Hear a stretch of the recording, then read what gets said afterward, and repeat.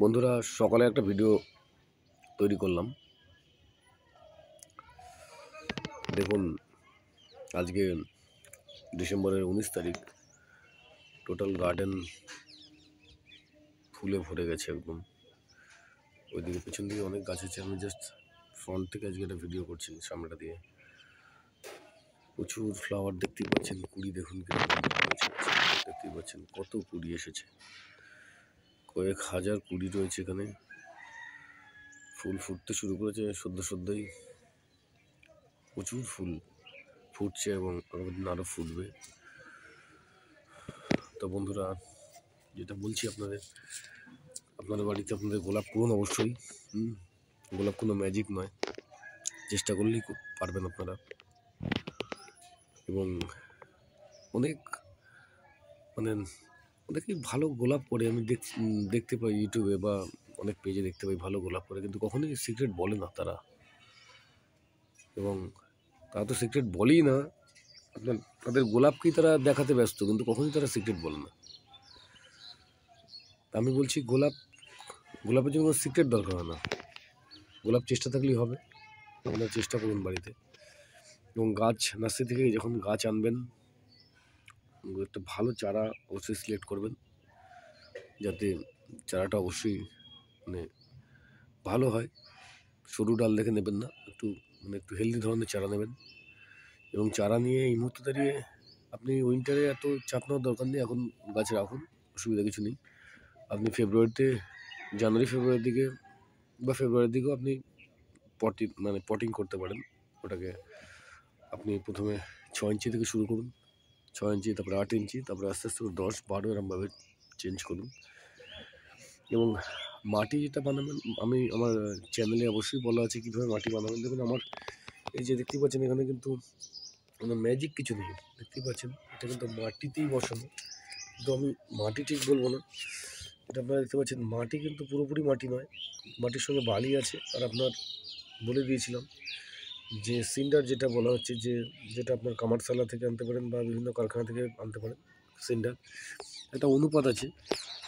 আপনারা এটাকে মোটামুটি ধরুন আপনি যদি মাটি ফর্টি পার্সেন্ট নেন থার্টি পার্সেন্ট বালি নিলেন আর থার্টি পার্সেন্ট আপনি সিন্ডার নিলেন এবং তার সঙ্গে যদি ভার্মি দিতে পারেন, ভালো, না দিতে পারলেও কোনো ক্ষতি নেই।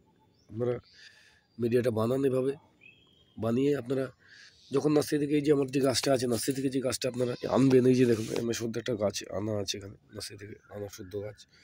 এই গাছটা যখন আপনারা আনবেন, এই যে নার্সারির যে মিডিয়াটা এই মাটিটা কিন্তু আপনার টোটালি দেখুন মানে এঁটেল টাইপের মাটি আর কি। এই মাটি দিয়ে সরাসরি গাছটাকে লাগিয়ে দিলে কিন্তু গাছটা নষ্ট হয়ে যাবে। তো ভালো করে আগে ফার্স্ট অফ অল যে মাটিটা পুরোপুরি শেকড় থেকে আপনারা ধুয়ে নেবেন। এমনভাবে ধোবেন যাতে শেকড় না ছেড়ে যায়, তারপর হলে এক ঘণ্টা, দু ঘণ্টা এটাকে ভিজিয়ে রাখলেই, এটাকে ভিজিয়ে রাখা যখন হবে ধরুন এক ঘণ্টা ভিজিয়ে রাখলেন বা দেড় ঘণ্টা ভিজিয়ে রাখলেন অটোমেটিক মাটিটা শেকড় থেকে ছেড়ে যাবে। এবং তারপরে ভালো করে আস্তে আস্তে করে, আস্তে আস্তে করে ধুয়ে নেবেন শেকড়টা।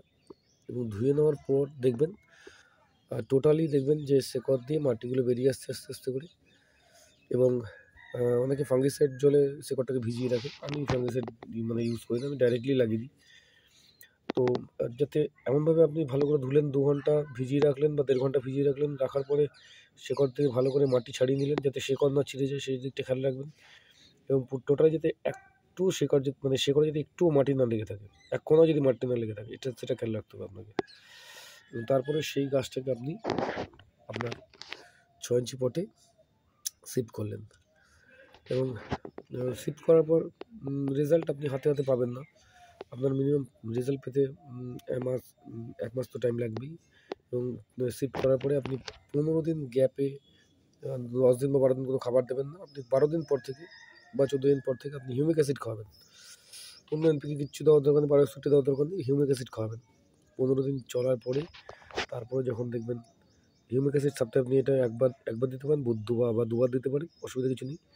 খাওয়ানোর পরেই আপনি বুঝতে পারবেন রুটের রুট ডেভেলপ হবে এবং তখনই দেখবেন আস্তে আস্তে করে কুশি ছাড়বে, পাতা ছাড়বে, তখন আপনি বারো একশো হিউমিক অ্যাসিড আরও দিন পনেরো খাওয়ানোর পরে তারপরে আপনি মেন ফিডিং স্টার্ট করবেন। আমি আপনাদের দেখাচ্ছি আমার কাছ থেকে কিছু গাছ এনেছিলাম, যেগুলো মানে এভাবেই আমি প্রসেসিং করেছি, আপনাদের দেখাচ্ছি, তার রেজাল্টটা দেখাচ্ছি।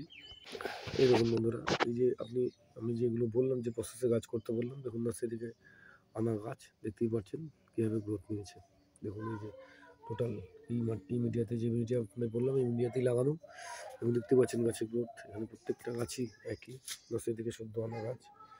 এবং এই যে এখান থেকে মানে আমি এগুলো জাস্ট মানে বেশ কিছুদিন আগেই লাগিয়েছিলাম এগুলো। শীত পড়ার আগেই লাগিয়েছিলাম। আমি এগুলো সব পটিং করেছিলাম অক্টোবরের দিকে।